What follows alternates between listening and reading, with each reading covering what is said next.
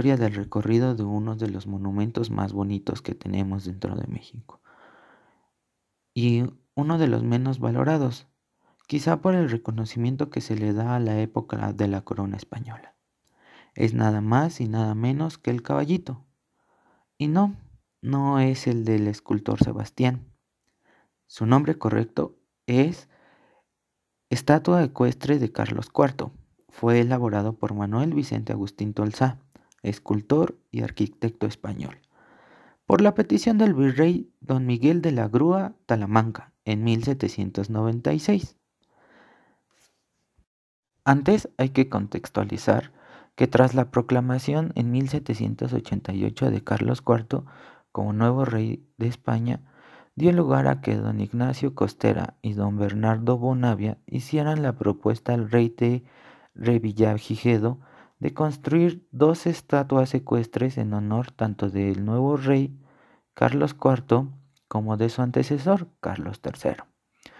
Pero por falta de recursos solo se pudo construir una de ellas, la de Carlos IV, y fue colocado esta en la Plaza Mayor, sobre un pedestal de mármol, pero esta era de madera y fue elaborada por Santiago Sandoval.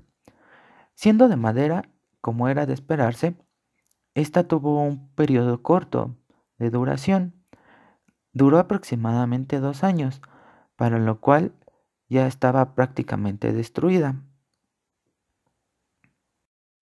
Pero, ¿quién fue Manuel Tolsá? ¿Quién fue Carlos IV? ¿Por qué se hizo una estatua a su nombre? Hay que averiguarlo. Antes que nada, Manuel Tolsá fue un escultor y arquitecto de origen español. Nació en 1757 en Engüera, España. Estudió en la Real Academia de Bellas Artes de San Fernando. Fue discípulo de Bartolomé Ribelles y de Vicente Gasco en las artes arquitectónicas y en las artes escultoras fue discípulo de Juan Pascual de Mena. Con el paso del tiempo fue escultor de la Cámara del Rey, ministro de la Junta de Comercio, Moneda y Minas y académico de San Fernando. Hizo algunas obras o proyectos urbanísticos dentro de la Ciudad de México, dedicados especialmente al saneamiento de las aguas. Durante todo este periodo, igual se volvió académico de San Carlos, en ese entonces la Real Academia de San Carlos. Posteriormente, dentro de la academia, se volvió el director del área de escultura. Falleció en 1816 en la Ciudad de México. Por otra parte, Carlos IV, rey de España, nació en 1748 y murió en 1819. Su reinado duró desde 1788 hasta 1808. Su gobierno se caracterizó por delegar las responsabilidades administrativas a otros. Algunos estudiosos sugieren que realmente quien ejercía el poder dentro de España era la reina consorte María Luisa de Parma.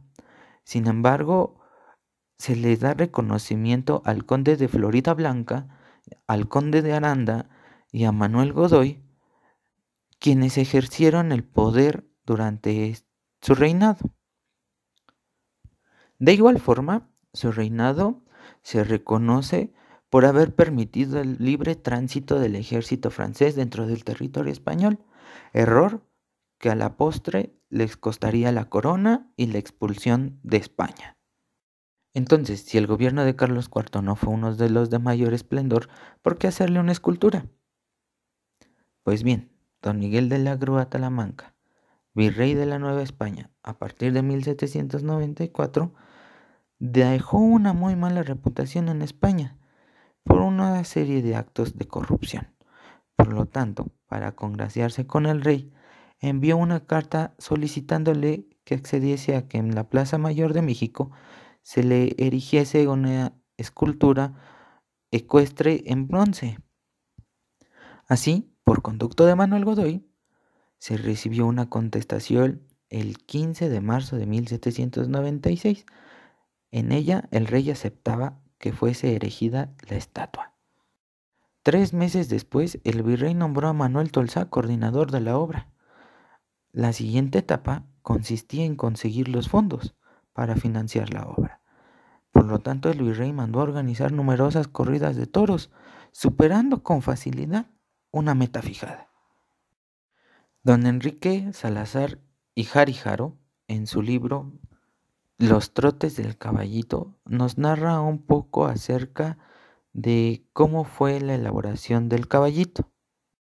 Tolsa continuó con el moldeado de la escultura definitiva, teniendo como modelo el hermoso percherín poblano llamado tambor. El inmenso molde quedó listo para su vaciado en bronce, pero el metal, para la función, aún no estaba completo, por lo que Tolsa y su equipo debieron esperar tres años. Reuniendo finalmente el metal, Tolsa revisó concienzudamente el molde antes de efectuar el vaciado, encontrándolo en buenas condiciones. El 2 de agosto de 1802, a las 5 de la tarde, el molde se recalentó para desalojar su interior, la cera. También se encendieron dos hornos alimentados con carbón que contenían 300 quintanales de metal en cada una de sus grandes crisoles. A las 6 de la tarde, el día 4, el metal, convertido en incandescente masa líquida, estaba listo para ser vaciado. 15 minutos fueron suficientes para que el crepitante bronce fundido recorriera los caños y respiradores para rellenar el molde, completándose así el trascendental lance. Después de cinco días, para que se enfriara el molde, se descubrió que el vaciado había sido un éxito, pues el bronce lo había llenado totalmente. Fue la escultura más grande de una sola pieza efectuada hasta ese momento en los dominios españoles de América. Catorce meses necesitó Tolsa para cortar, limpiar, cincelar y pulir la escultura, para sacar de su interior el picadizo que la rellenaba. Se le practicó en la grupa del caballo un orificio por donde podía pasar un trabajador. Se dice que se introdujeron en él veinticinco personas, para satisfacer la curiosidad de saber cuántas cabrían. Por esta circunstancia, la escultura de Carlos IV recibió del pueblo, además del cariñoso nombre de caballito, el caballito de Troya. Este proceso, narrado por Enrique Salazar, fue elaborado en la huerta del Colegio de San Gregorio. Así, la estatua de 4.88 metros de altura por 1.78 metros de ancho y 5.4 metros de largo, con un peso de aproximado de 6 toneladas, fue concluido. El 9 de diciembre de 1803, Bajo el virreinato de José de Iturrigaray se realizó la ceremonia de inauguración en la Plaza Mayor.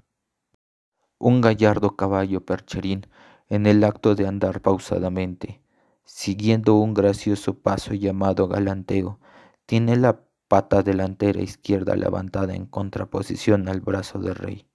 La pata trasera derecha pisaba como alegoría de dominación el águila y el carcaj, símbolos del antiguo imperio azteca.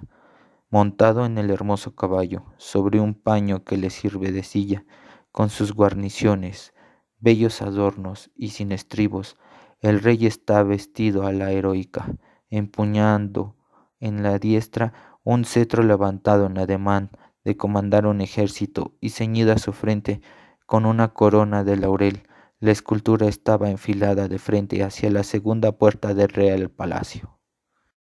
Por lo que mencionaba Enrique Salazar, en cuestión de que el caballo estaba pisoteando algunos símbolos aztecas, Guadalupe Victoria, primer presidente de la República, propuso que fuera fundida y empleado su material para acuñar monedas. Pero por fortuna, Lucas Alamán ministro de Relaciones Interiores y Exteriores, sugirió que la obra fuera conservada y para su protección se trasladó a un sitio que no estuviera a la vista del público. Así se escogió el claustro de la Pontificia y Nacional Universidad de México. Treinta años después de este primer traslado, en el periodo presidencial de don Mariano Arista, el alcalde de la ciudad, don Miguel Lerdo de Tejada, propuso que el caballito fuera trasladado a la primera glorieta en el Paseo de Bucareli, que después sería parte del Paseo de la Reforma. El arquitecto encargado fue Lorenzo de la Hidalga, quien construyó además un nuevo pedestal para la estatua. En este sitio de la glorieta de Bucareli, que después fue parte del Paseo de la Reforma, duró bastantes años, hasta 1979. Poco más de 100 años duró en este lugar. Sin embargo, el arquitecto Saldívar diseñador y constructor de las regaderas, eh, Kutsamala, propuso el cambio de lugar, este enfrente de lo que es el Palacio de Minería, en la calle de Tacuba. este nuevo lugar, esta nueva plaza que se le dio, ahora se llama Plaza Manuel Tolsa, que está vuelvo a reiterar, enfrente del Palacio de Minería y enfrente del Museo Nacional de Arte, el MONAL. Espero les haya gustado saber un poco más de datos interesantes acerca del caballito, una obra artística fantástica que lleva más de 200 años existiendo y que ha estado presente por todos los procesos históricos en la conformación de México.